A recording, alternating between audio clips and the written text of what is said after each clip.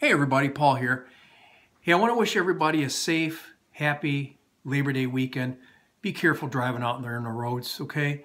Um, you want to know what really grinds my gears is the crap motor oil that's being sold out there.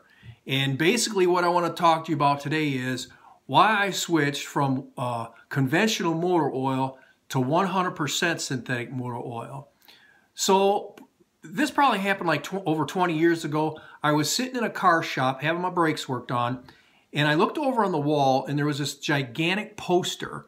And the poster said something like, the only oil used in jet engines is 100% synthetic because they cost millions of dollars. Well, it really caught my attention, so I went over to the poster um, to read it more in depth, and it said that uh, well, it had this long list of the advantages of using 100% synthetic oil over conventional oil.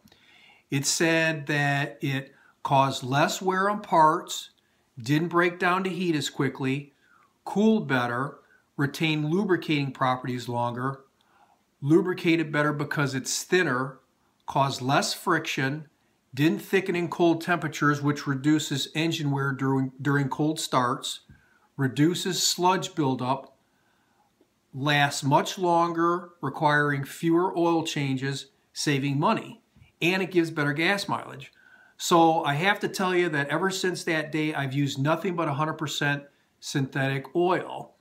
Um, I've also learned since then that there's actually there's actually 100% synthetic oil out there that can go 25,000 miles in your car's engine and 100,000 miles in your car's transmission. That is crazy. Um, I've also learned since then that the particles of conventional oil on a molecular level, they're all shaped unevenly like a piece of gravel, okay? How'd you like that to be made up of your oil?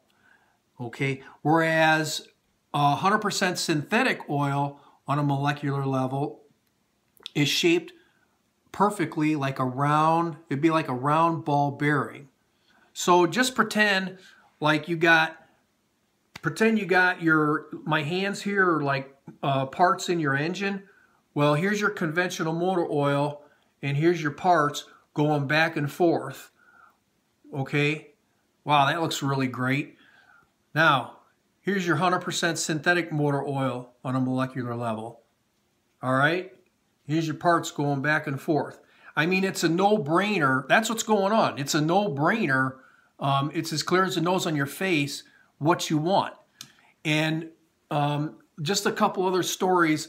I knew a very knowledgeable mechanic, and he said that if you actually, uh, if you take 100% synthetic oil and put it in a brand new engine, he said the engine actually it won't break in and the, the parts won't seat properly. Uh, he said it's that good of a product. So there was another time I was talking to a gentleman and he had a Chrysler car. It had 80,000 miles on it. And he, there, I guess he had to have some recall work done in his transmission.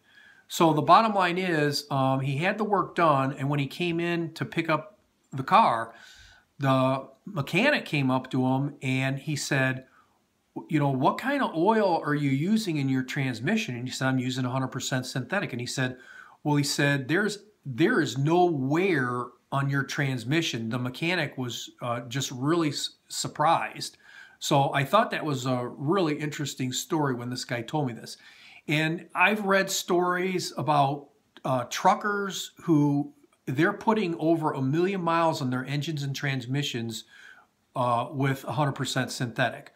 So I just kind of like to wrap it up by saying synthetic oil, it, it isn't just for your car engine and your transmission. It's also used in, you know, motorcycles, jet skis, four-wheelers, snowmobiles, boats, all your lawn and garden equipment. Actually, you should be able to find a synthetic oil for whatever lubrication need that you have. So my recommendation to everyone out there is to make the switch to 100% synthetic oil, start saving money with fewer oil changes, and make your investment last a lot longer. So, God bless you. Have a great day. Bye for now. Feel free to comment.